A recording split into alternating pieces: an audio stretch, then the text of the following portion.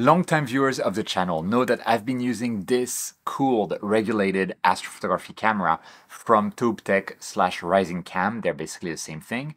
This is a camera with an APS-C size sensor, the IMX571 from Sony, which is the same sensor that is in cameras such as the ZWO ASI 2600 mm RMC Pro cameras. So it's a very good quality sensor. It's actually an excellent sensor.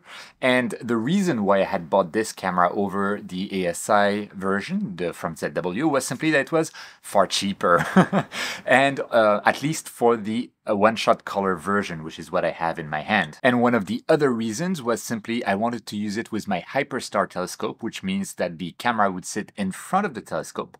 And because I'm using the Hyperstar C6 version on a 150 millimeter diameter aperture, uh, this camera is actually bigger than the central obstruction. So I wanted to make the camera as thin as possible. And it so happens that this one is considerably thinner than the uh, ZWO version. So those were the two reasons why I went with this camera from ToupTek. And by the way, the name of the camera is the ATR3 CMOS 26000 uh, KPA. Of course it is. It is a very simple name. And up to now, it's been working really, really well. And I have done a review of this camera in the past. Uh, I'll put the link to this review somewhere above. It's a really good camera and it's uh, I've really, really enjoyed it and it's been my uh, daily driver or nightly driver for quite a while now. And ToupTek cameras are so popular that there are tons of brands these days that actually rebrand the ToupTek cameras and sell them under different brands. And it's really good because I bought this camera off of AliExpress shipped directly from China. But obviously that was kind of a roll of the dice. And now there are other companies such as Ogma that sell the same camera under their own colors, uh, in the US with US based support, right? So that can be very important uh, for for people uh, located in the US who don't trust directly uh, to import things from China and rolling the dice like that. Uh, by the way, of course, I'll put the links to those cameras directly in the description. So this has been serving me very well. It is a cooled regulated camera. I typically use it at minus 10 degrees. The, the sensor is extremely low noise. it has a dew heater built in everything's working great with it. But ToupTek reached out to me out of the blue and told me like, by the way, this is kind of like the old version of the camera. There's uh, the same camera, same number, uh, same brand, same everything, but we've basically updated it. And so we want to send you an updated version of the camera, which I said, yeah, sure. And I asked, you know, what are the conditions? And there's basically no conditions like, oh, you don't need to do a review. You don't need to do anything, just like use it can't say no to that, right? So this is what I received, the new version of the camera. And in this video, I want to look at the differences that we can see between the two cameras, how the older version that I have in my right hand here and the newer version that I have here are different. And that lets me basically update the review. The first difference comes with how the cameras appear from the front. They're very different. This is the old version and this is the new version. And the new version has kind of like a, a, thicker ring that sticks out with some screw holes in there. And if in particular we look at these screw holes, like around those four screw holes, one, two, and then two more on the other side, those are apparently built to be uh, compatible with ZWO filter wheel uh, screw hole uh, spacing so that instead of just screwing in a filter wheel, you can actually attach it via screws directly to the camera, just like you can with other ZWO cameras. So that's one big difference. But another big difference that I saw and that I found super cool actually is that the camera, just like the ASI 2600 mm or MC from ZWO, has a back focus of 17.5 millimeters, except that this back focus can be made even shorter. How you can achieve that is by loosening the four screws that we have in the front and I can just remove that ring from the front. And using the same four screws, I can put in this adapter in its place. And that's how it ends up looking like. And instead of a female M42 plug, we have a male M42 here now. And with this male M42, the back focus is now just 12.5 millimeters instead of 17.5 millimeters. And I personally think that's awesome. It makes, it adds five millimeters of available back focus. And if you've been in astrophotography for a while, you know how amazing five more millimeters can be. And you know how often you've cursed against that one millimeter of back focus that prevents you from getting good images, that kind of stuff. So this is really, really cool to be able to see such a feature in the camera. I, I, my guess is that they could make even the female adapter back focus smaller with different adapters, which could be a really good idea. Um, but they prefer to keep the same back focus as ZWO cameras because then it makes them like cross compatible with accessories, which is a good idea. What other differences do we see? It's not all good, but for now, everything is uh, has been decent.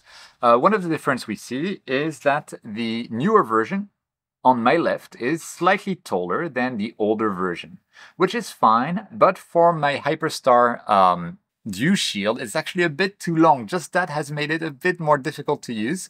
So that's one thing to keep in mind. Another difference, and I think it's an improvement that I've seen, is how the fins work. The fins on the uh, heat spreader or heat exchanger, which are slightly sticking out, very slightly sticking out in some places from the camera body on my old Rising Cam slash Tech camera. And I do believe that this slight sticking out might have been an issue for some of the hyperstar imaging when the camera is in front of the scope and those fins were actually causing some small diffraction spikes on the stars. So with the new version, these grids are actually recessed. They're, the, the, the camera body is perfectly smooth. So with regards to Hyperstar, I think this is much better. But this is like only for Hyperstar C6 where the camera is bigger than the central obstruction. So it's a very corner case. Now where things get a bit less good is on the face of it, those two cameras at the back, they look pretty much the same. Uh, but the old one has recessed LEDs, while the new one has them slightly sticking out. I've noticed that on the old one, I could just cover these with electrical tape, and then there would be no more light uh, leaking from the camera whatsoever, which is super important for instances of astrophotography where the camera is in front of the telescope, like RASA or Hyperstar. But on the new camera, even if I put electrical tape on top of these LED diffusers, there are actually LEDs on the board behind the little LED diffusers there, and uh, those cause issues because I see light, light seeping out of the, the fan opening here, the airflow opening uh, at the back, which is a bit of a problem. I've notified uh, Tech about that, so let's see what they come up with in the future. So with that, let's have a quick look inside the camera so we can see the differences that were done structurally within the camera as well. Before we do that, don't forget to go down below, subscribe, like, leave a comment. It really helps the channel out.